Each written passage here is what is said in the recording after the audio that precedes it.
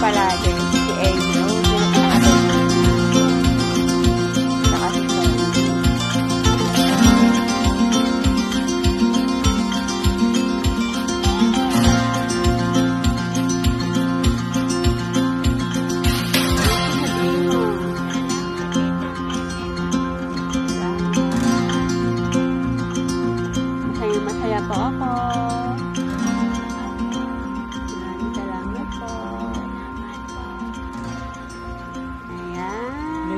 Kalaro niya na yan. Salamat po ng marami. Dap